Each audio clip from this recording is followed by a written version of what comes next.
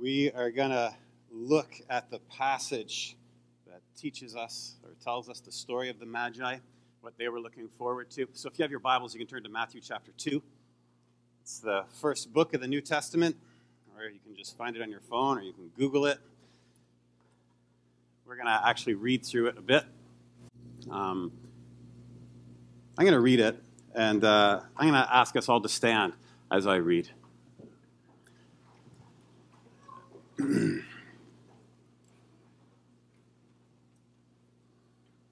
I believe that uh, the Word of God, the Bible, is a book. Uh, back here we have a library, it's filled with books. But it's a book like no other book. Uh, I believe these are words that God would have us know and hear. Words that reveal who God is, words that reveal much about our world and our life that we need to know. God speaks to us through these words. And so that's why I ask us to stand and to give it some honor. Even though in your heart you may not feel it, wherever you are, um, I just ask you to stand as we read this.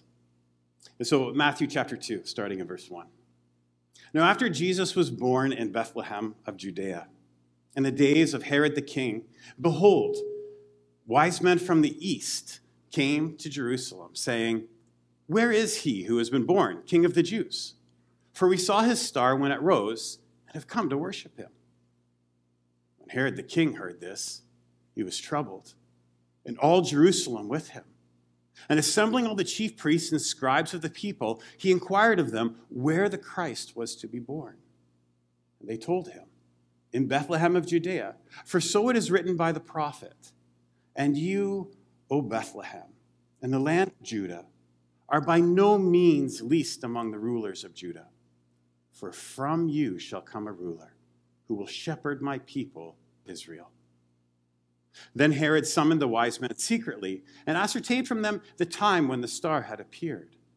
And he sent them to Bethlehem, saying, Go and search diligently for this child. And when you have found him, bring me word that I too may come and worship him. After listening to the king, they went on their way, and behold, the star that they had seen when it rose went before them until it came to rest over the place where the child was. When they saw the star, they rejoiced exceedingly with great joy. And going into the house, they saw the child with Mary his mother, and they fell down and worshiped him. Then, opening their treasures, they offered him gifts gold, frankincense, and myrrh. And being warned in a dream not to return to Herod, they departed on their own, to their own country by another way. Please be seated.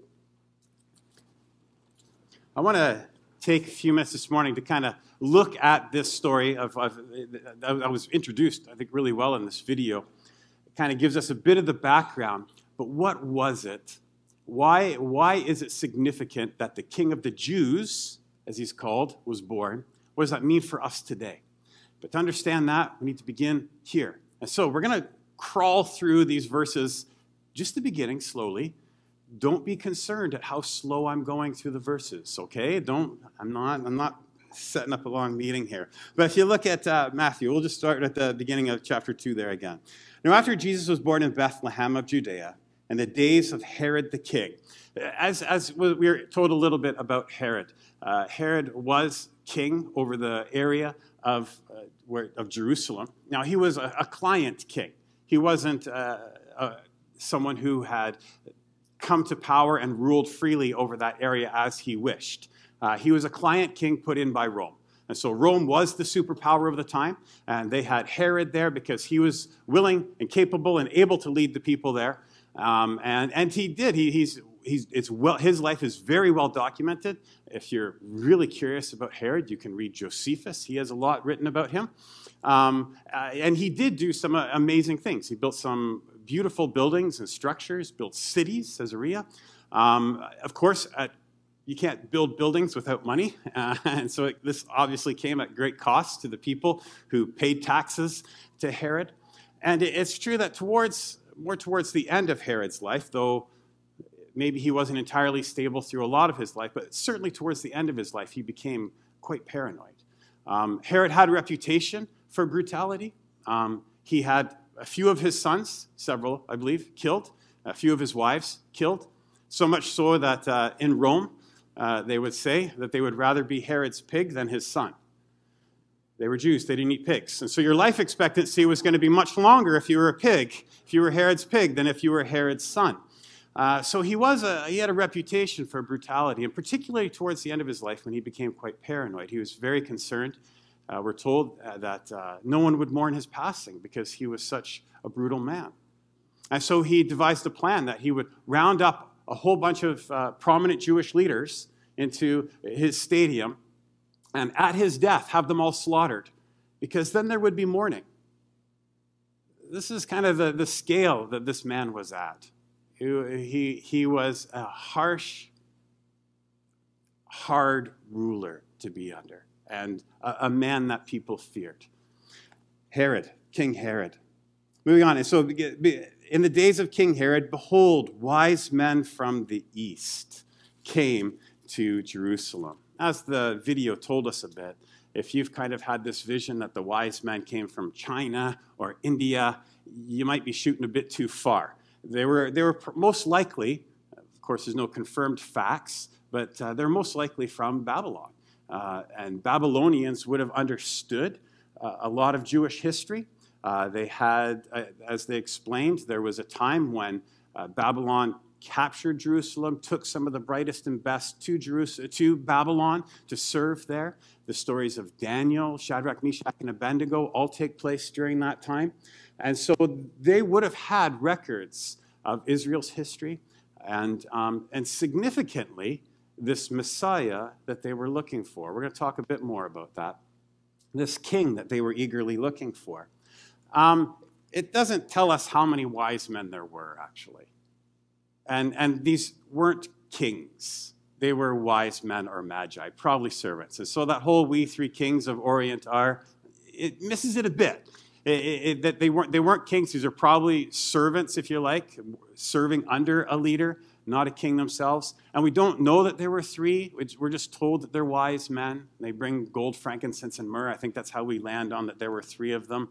But those are minor details, right? That's just kind of a bit of church history that's kind of added those information in. But the actual text doesn't tell us how many there were. And to be honest, it probably wouldn't be just three people traveling on three camels, even if, if there were three. Uh, there would have been a caravan, a large caravan. You don't travel through the wilderness with a bunch of gold. it's, it's not going to go well for you, right? You're, you're going to bring military support. Uh, you're going to see a king. You're going to bring a bit of an entourage.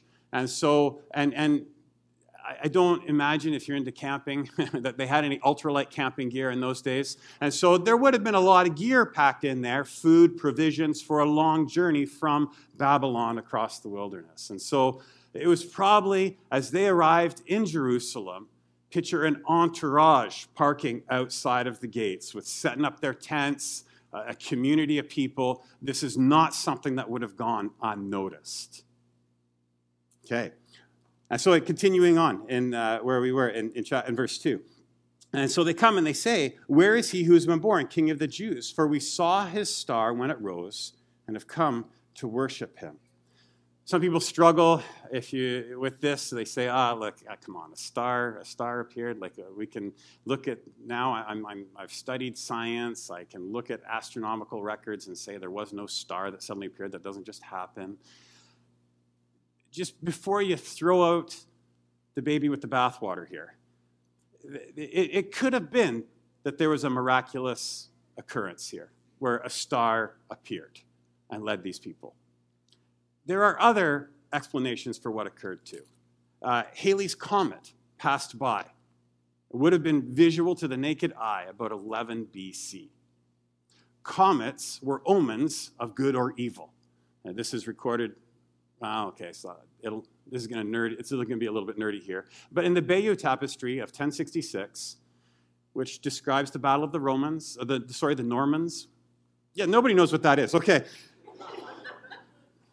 I know what that is. Um, yeah, even in the, so there is a tapestry from 1066 which describes a great battle in Europe.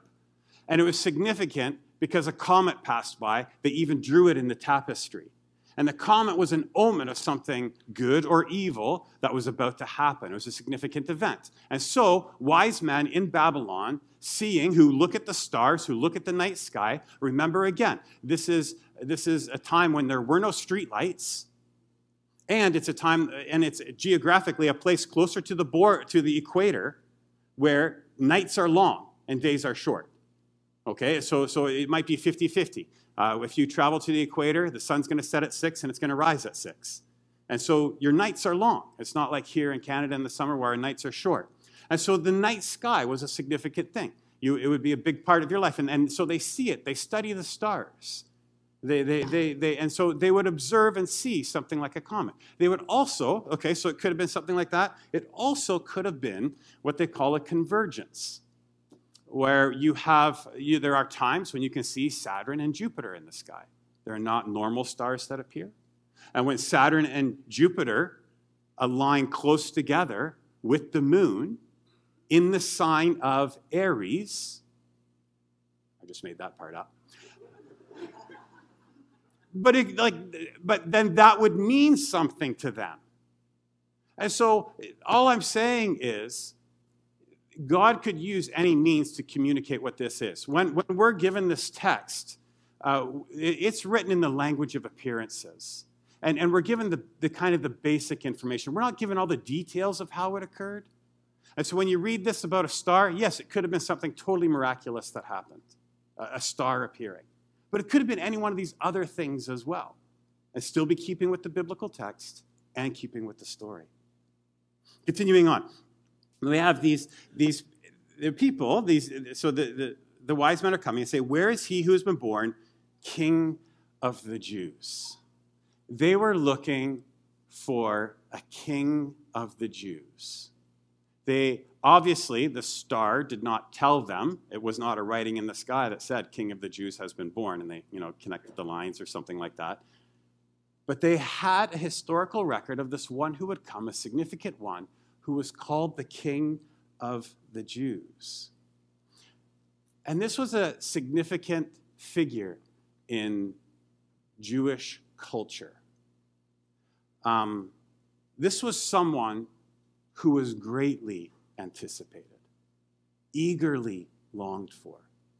When uh, I, work with someone who, uh, I shouldn't have said I work with. I, I know a friend who is applying to a job and he's very excited about this job. He's very excited about this potential job. And uh, so he, every break we have, he's checking his email to see if he's heard from them. And then in between a bit, he's pulling out his phone every now and then, checking to see if he's got a message from them. And often in his conversation, his mind will reflect to, oh, if, if I get this job, then this. And it's about how life's going to be better. If I get this job, then I, I'm going to have more money to do these kinds of things. If I get this job, it'll offer me these kinds of freedoms. If I get this job, it'll offer me this kind of upward mobility. And he thinks about it all the time. It's never far from the front of his mind because it fills him with such hope. He's so eager for it. The Jews, the Jewish people lived this way looking for this one who would come. He'd be the one who would save them, who would restore them, who would be their king, who would bring justice and peace to where they lived. As explained a little bit in the video, the, the, the Jewish people, the nation of Israel, were God's chosen people. We've talked about, I've talked about this before, very significantly. God, their history was wrapped in God doing wonderful and amazing things for them.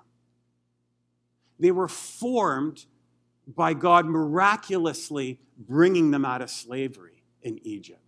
And you can read about that in the Bible, or you can watch the Disney movie about Moses or something like that. And, and, it, and, and so they were formed and they became his people. God revealed himself to them, he gave them a law. And he said, and it was describing who he was and, and who they were. And he was saying, This is how you're going to live, and it's different than all the other nations because you're going to be my people. And he led them through the wilderness and he led them into the promised land. And he, and he said, I will be your God.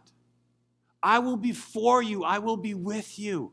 I am real. I'm active. I'm powerful. And you will be my people. You will be my representatives to the world. Just walk with me. Obey me, and I will bless you. And the story of the nation of Israel is that they didn't. And, and God called them time and again through the prophets Return to me, your first love. I loved you dearly. You're my people.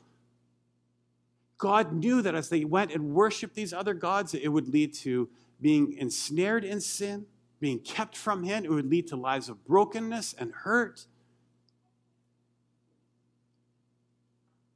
And He called and He called, and they would not listen. And God said, Look, you mean so much to me that I'm not going to let you go, but I'm going to call you to me in the most dramatic way possible. Sure enough, armies came and destroyed the city. The very city, the very place, and I've talked about this before too, they built a temple to God. It was the dwelling place of God where the supernatural met the natural. They would, it was the place, they said, that God dwelt in a special way, like nowhere else. And it was when they dedicated the temple, it, dramatically, God came and filled the temple. It was, and when these armies came, they just destroyed it. It was gone. And they were taken into exile or killed. And they and God continued though to call his people and told them one day someone will come. He'll be your king. He'll be your eternal king. And he'll be good and just and right. And he'll restore you as a nation. And so the nation of Israel yearned for that king. If you know the story a little bit later, 70 years after they've been in captivity, they do come out and they return to Israel. They begin to rebuild Jerusalem, the city. They rebuild the temple, but it's not like it was before. They rebuilt the building, but there, there was no dramatic movement of God to fill the temple. They were happy to build it. It said the young people cheered and the old people wept. They were back in Jerusalem, but God was not among them. God was not with them. So they continued to yearn for this king who would make everything right, who would restore them to God. So this was the king of the Jews that the people yearned so eagerly for and looked for. Oh, so this entourage pulls up outside Jerusalem. Would have been talked about by everyone. Would have been on the news, tweets if they had it all kinds of stuff, the, the gossip at the market. And they come and they say, Where is this king of the Jews that's been born? And of course, that gets everybody stirred up. He's come. There would have been people saying, I doubt it. There would have been people saying, I'm excited for it. Some, many would have been saying, Oh, I hope it's, I hope it's him. And of course, Herod, this is towards the end of his life, in his paranoid state, felt very threatened. And he would. This is the king of the Jews. Herod has a plan for his continuation. One of his children who survives is going to take over. He himself is threatened by this king. So he had to get rid of him. Matthew includes this in the text for another significant reason. This was and this is an important thing. It was these wise men coming were not Jewish themselves. They were what, we, what the Bible would call Gentiles. We are also Gentiles. I think most of us are Gentiles.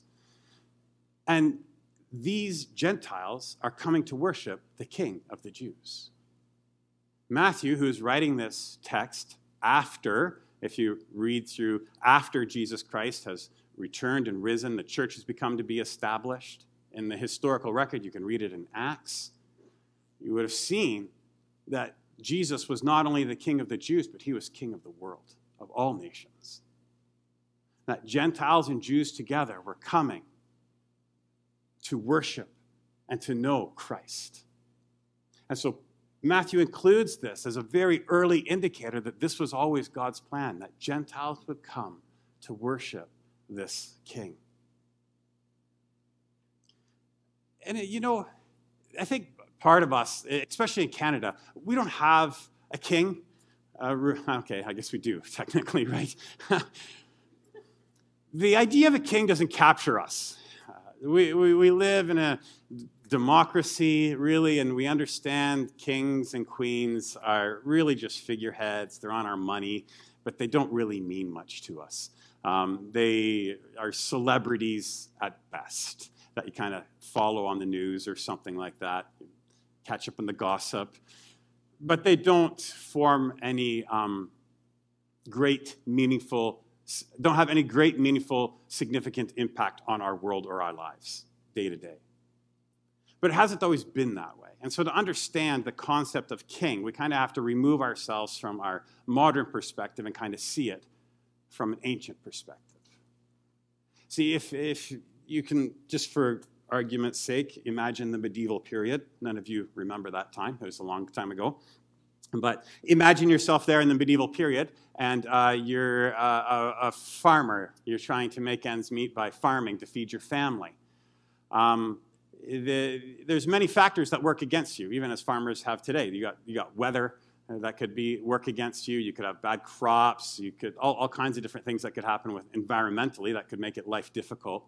But another difficult thing is that if four guys get horses and some swords, uh, they could come and say, you know what, give us all your crops because we're more powerful than you. And that's completely not just. That's unfair. That they wouldn't do any of the work, but then take all the all the crops, all your all your all your food that you need to feed your family and you could sell to make money. And so it creates this great insecurity. And so what's needed is a king. Someone who creates a, a place where there is peace, where there is security. Someone who could fight your battles for you and defend you. And so if you move your land, your farm, maybe close to where the king's castle is and his city or whatever, you would be protected by that king. Now, I know I'm speaking ideally. I'm not saying every king in history was so noble and good, but this is the way it would, should be, right? And you have this king who has rules, who has structure, and who has a military to back up those rules so that now you could farm in peace and security and that you would be able to live a fruitful life providing for your family. It's what you want. And so, the concept of a king, when you think of the concept of a king, don't think of our modern kings and queens. Think back in an ancient mindset. It would be someone who provides protection, who brings justice, who brings peace, so that you can flourish, so that you can live. But the king of the Jews was going to do something even more significant. And I'll read this to you. If you want, you can turn to Hebrews chapter 8. He would create this new relationship. And this was key for the Jewish people. This was what they were yearning for as well. In verse 10 of, of Hebrews 8, this is a quote from Jeremiah the prophet in the Old Testament. He says this For this is the covenant that I will make with the house of Israel. This is the relationship, this is the promise, the relationship that I'm going to establish with these people. So, this is Jeremiah speaking of a future date. He says, After those days, declares the Lord, I will put my laws into their minds. I'll write them on their hearts. I will be their God, and they will be my people. And they should not teach each one his neighbor and each one his brother, saying, Know the Lord, for they shall all know me, from the least of them to the greatest. For I will be merciful towards their iniquities, and I'll remember their sin no more this king of the Jews wasn't just going to come and establish security, peace, and prosperity, but he was going to restore a relationship with the God who created all things, with the God who ruled over all things. He said, They will be my people, they will know me. And, and not know about, Okay, he's not talking about that kind of a knowledge. He's saying, You'll know me, you'll be in a relationship with me. We will know each other. And so this king was going to come and restore a relationship with the God who rules over all things. And in this knowing, there would be, it was, it was birthed out of love. It was, it, can you imagine? Can you imagine somebody knowing you completely? And I'll bet you there's nobody in your life who knows you completely, knows everything about you. You'll have people that are very close to you, loved ones, spouses, close friends, who know a lot about you, but very rarely will we reveal everything about us because we're so ashamed and afraid that we would be rejected, and we even say maybe rightfully rejected. But this God will know you, love you, know the real you, and love you. Do you understand what that does to a person? There are people who will spend their life either seeking love or living their life in brokenness because they're not loved. Being known and loved brings real security, it brings strength, it brings fortitude. this relationship with God brings great value. Sometimes we feel important because we're known by important people, or maybe we feel important because we're known by lots of people. Can you imagine being known by the God of the universe and loved by Him? Well, it brings importance to a life, it brings value to a life. And then he, you get to be, we would, they would be his people. It brings purpose to a life. You can't live a fruitful life without security, love, purpose, meaning. You will spend your life looking for those things, or as I said, spend a broken life trying to medicate yourself because you don't have those things. Those are and this is not, I'm not speaking, this is psychology says this. We know this. You know it in yourself. King of the Jews has come.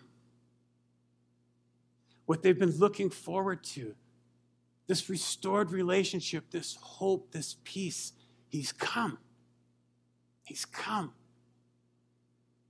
As he goes on to say in the passage, I'll skip down to verse uh, 5. They told him, as, as he's looking for, uh, sorry, these, Herod's trying to discern where will this king be born, and the, the scribes look and they say, in Bethlehem of Judea, for so it's written by the prophet. This is they're quoting the, the, the prophet Micah. You can read his letter, it's in the Bible. And he says, And you, O Bethlehem, in the land of Judah, are by no means least among the rulers of Judah. For from you shall come a ruler who will shepherd my people Israel. Matthew is demonstrating here, by having them quote Micah, that Jesus was the fulfillment of everything that they had longed for. And that this king was Christ. And that this exile that they were experiencing, this separation from God, this restoration would come through this one, Jesus Christ. And as we look back on history now, we know the life of Christ. We can see the life he lived. We can hear the things he said. We can read about them in the Bible. And we know that he died. We know that he rose again. And we know that he's ruling even now. And all of God's promises, the hope that he gives, comes to us through Christ. And so, in preparation and closing, in preparation for this Christmas season, I want to speak to three different peoples, groups of people. One, maybe you have no relationship with Jesus Christ at all. Maybe you're completely indifferent to him, don't really know much about him. I would implore you to consider what the scriptures have to say. In this season of Christmas, take the time to read and to ask questions. You can ask any question you want. You can have doubts. It's, it's fine. Ask questions. Find another Christian who's willing to walk with you through just a reading of, of any one of these Matthew, Mark, Luke, or John. And ask questions. Ask hard questions. Because if this is true, this has significant impact on your life, eternal and even for today. Examine history. History tells us this is true. Examine the scriptures, you can read them, and examine your heart. Look inward too and say, Am I really satisfied? Because you can chase after a million things thinking you're going to find security in your wealth, in your, in your position at work, or in your relationships. Those things can disappear in a moment. Consider the claims of Christ and who he is. Another group of people that I would speak to in this season of preparation for Christmas. And I'm going to, these, the last two are kind of close. Religious people. If you come to church because you ought to, and maybe you give money to the church because you ought to, and maybe you even read your Bible because it's good to do, and you live a moral and decent life because maybe somehow you believe there is a God and you don't want to upset him. Maybe you want to get his blessings, or maybe you want to uh, live forever, and so you're going to take this little bit and I'll do my little bit, and that'll be the exchange. I give up my Sunday mornings, and then I live forever, and bad things don't happen to me. You're so close but there's so much more. There's so much more to know. It's like having a gift and having it there wrapped and saying, What a nice gift, and never opening it to enjoy it. And so, in this Advent season, this time of preparation, I would encourage you to dig deeply into who Christ is, dig deeply into what he's done, and really seek to know him because it will transform your life. It'll change you, and it's never too late. Now, I would also speak to those who are followers of Christ. You who have heard about Jesus and your life has changed. You live your life differently because you don't see yourself as king of your life, but rather that there is a king. And maybe you read your Bible, you worship him. I would encourage you in this season of preparation to take time daily, because I know life can be busy. And don't let that relationship grow stale. Seek to know him more. Worship him Enjoy Him. Fellowship with Him. Walk with Him. Invite Him into your days. Look for Him throughout your days. We have been given a gift that is beyond compare. And so I encourage everyone seek to open that gift, to really discover it. Seek to know Him and be transformed by him. And I pray that your response would be like the wise men who come to worship. And until that time, I pray that you would be like Herod and agitated until you know him.